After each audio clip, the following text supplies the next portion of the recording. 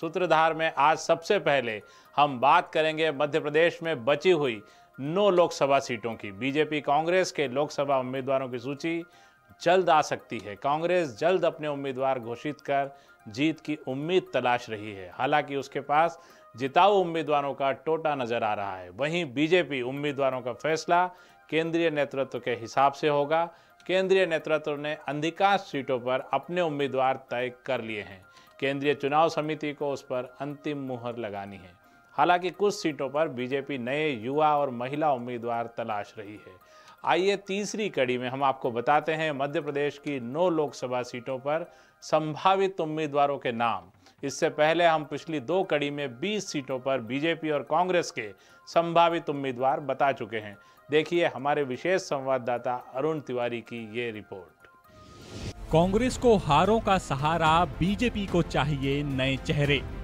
कांग्रेस के पास इन नौ सीटों में से एक भी सीट नहीं है। हालाँकि कांग्रेस को आदिवासी सीटों पर कुछ उम्मीद की किरण नज़र आ रही है। वहीं बीजेपी को सीधी सतना और दमोह में नए चेहरों की तलाश है। हालाँकि सीधी से एक बार फिर रीति पाठक का नाम भी चल रहा है। रीति पाठक हाल ही में सांसद से विधायक बनी हैं, लेकिन उनको कैबिनेट में शामिल नहीं किया गया, इसीलिए हो सकता है कि उनको फिर से सीधी से चुनाव लड़वाया जाए। सतना से गणेश सिंह की जगह पार्टी नए चेहरा चाहती है। गणेश सिंह विधानसभा चुनाव हार चुके हैं। दमोह की सीट भी प्रहलाद पटेल के विधायक बनने से खाली हो गई है। प्रहलाद पटेल मंत्री हैं, इसीलिए उनको पार्टी चुनाव नहीं लड़वाएगी। दमोह से किसी लोधी नेता को टिकट मिल सकता है। आइए, अब आपको दिखाते हैं प्रदेश की नौ लोकसभा सीटों पर बीजेपी और कांग्रेस के संभावित उम्मीदवार। सबसे पहले बात करें खरगोन की तो खरगोन से कांग्रेस के उम्मीदवार हो सकते हैं बाला बच्चन। कांग्रेस के वरिष्ठ विधायक हैं पूर्व मंत्री, बड़ा आदिवासी चेहरा माने जाते हैं। ग्यारसी लाल रावत, पूर्व विधायक, विधानसभा चुनाव में टिकट काट लिया गया था। बात कर लें बीजेपी की तो बीजेपी यहाँ से गजेंद्र सिंह पटेल को टिकट दे सकती है। मौजूदा सांसद भी यही हैं। बात करें मंदसौर की तो मंदसौर से कांग्रेस की उम्मीदवार हो सकती हैं मीनाक्षी नटराजन। पूर्व सांसद रह चुकी हैं युवा महिला नेता हैं और राहुल गांधी की करीबी मानी जाती हैं। अगला नाम है सोमिल नाहटा का। पूर्व मंत्री के बेटे हैं, टिकट की प्रबल दावेदारी कर रहे हैं। बात कर ले अगले नाम की तो अगला नाम है भानु प्रताप सिंह राठौर। युवा राजपूत नेता हैं करनी सेना से आते हैं, युवाओं में पैठ है। बात करें बीजेपी की तो बीजेपी मंदसौर से सुधीर गुप्ता को टिकट दे सकती है। मौजूदा सांसद भी यही हैं। यशपाल सिसोदिया मंदसौर से तीन बार के विधायक हैं, लेकिन विधानसभा चुनाव हार गए थे। देवीलाल धाकड़ पार्टी के पुराने और सक्रिय नेता माने जाते हैं। इनका भी नाम चल रहा है। आइए सीधी की तरफ़ तो सीधी से कांग्रेस के उम्मीदवार हो सकते हैं कमलेश्वर पटेल।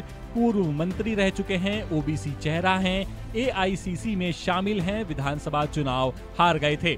बात करें बीजेपी की तो बीजेपी यहाँ से रीति पाठक को दोबारा मौका दे सकती है।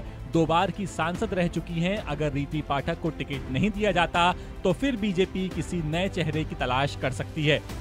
आते हैं सतना की तरफ़ तो सतना से कांग्रेस के उम्मीदवार हो सकते हैं सिद्धार्थ कुशवाहा।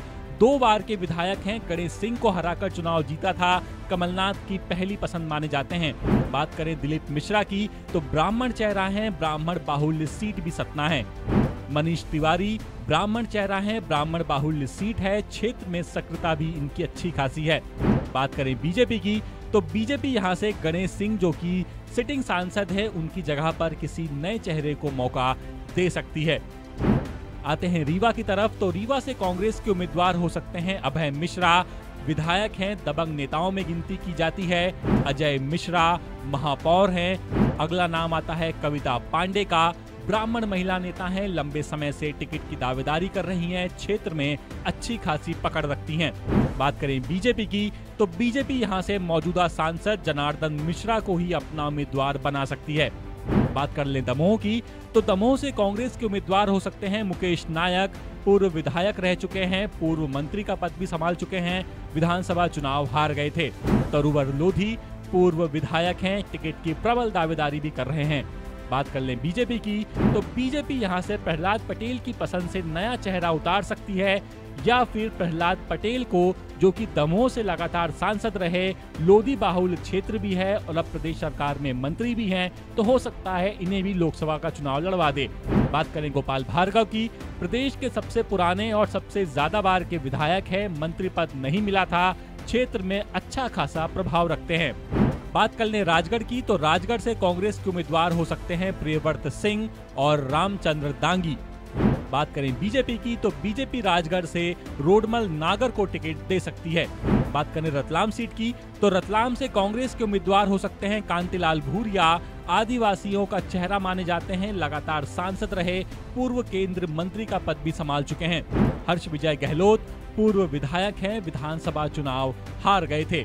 बात करें बीजेपी की तो बीजेपी रतलाम से गुमान सिंह डामोर को टिकट दे सकती है, मौजूदा सांसद भी यही हैं।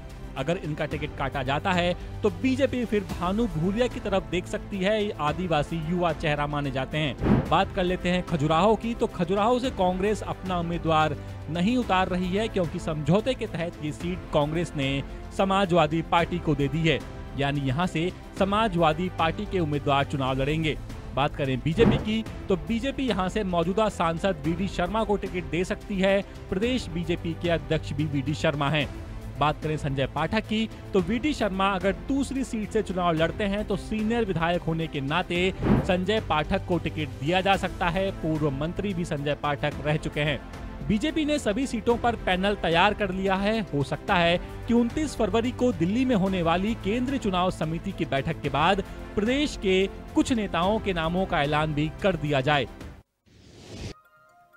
तो जैसा कि आपने देखा, हमने तीन कड़ियों में आपको मध्य प्रदेश की सभी उनतीस लोकसभा सीटों पर संभावित उम्मीदवारों के नाम बताए।